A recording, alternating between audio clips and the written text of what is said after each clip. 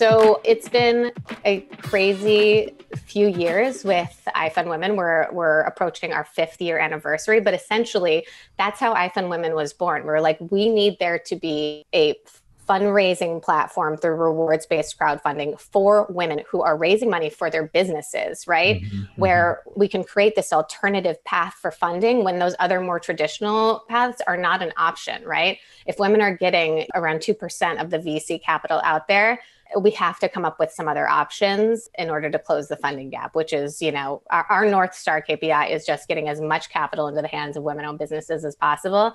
That's what we do here at IFundWomen. And we know that it's not just about the funding, it's about also creating the access to the coaching, the educational resources, which is another thing that we found was lacking when we were crowdfunding ourselves, right? There was no intuitive way for us to really learn how to do it. And again, learning how to raise money through crowdfunding it will set you up for success as you go on to raise follow on capital throughout the lifetime and life cycle sure. of your business. I was first raising money. We were in San Francisco. This is probably 2014, 2015. And I remember, you know, this was eye opening to me. So, kid from Massachusetts. And then I was like, oh, interesting. Everybody that effectively is getting capital is getting capital because they went to the same schools or they look they look similar to the individuals giving them money and it became very apparent to me i was like oh i see this is really a game of like and, and to some extent it's human right it's like i'm betting on people that look like me and right. then when it came mm-hmm. to some of the females that i knew they had a product and, and the vc might say something like oh i'll ask my wife about that when i get home because it's like totally. they know nothing about that world and it's one of these things where their wife is also not the major market, right? Their wife probably travels a different way and uses products from a different setting that maybe they're not working. And so it was almost like you get alienated quickly without even recognizing it. And it was Absolutely. a problem that I learned myself, like firsthand. Obviously, we raised capital and everything was great. We were also in tech. And so to some extent, people are like, oh, tech, that makes sense. We love tech, blah, blah, blah.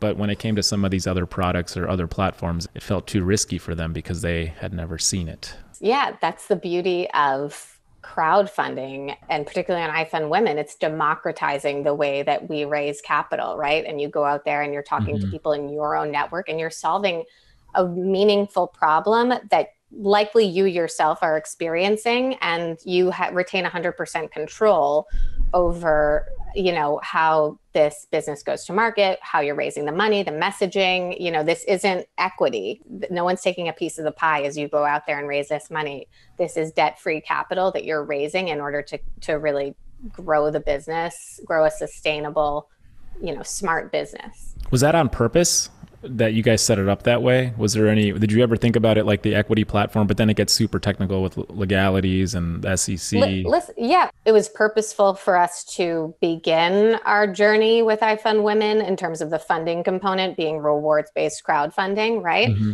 But we have big plans ahead, and we want to okay. continue being at the forefront of offering as many funding options uh, to women entrepreneurs as possible, some of which will be debt free and some of them may not. And you know, stay tuned for more information on that. But like, that's always you know part of our roadmap is how can we continue to innovate and you know cast as wide of a net as possible in terms of making access to capital as accessible as we can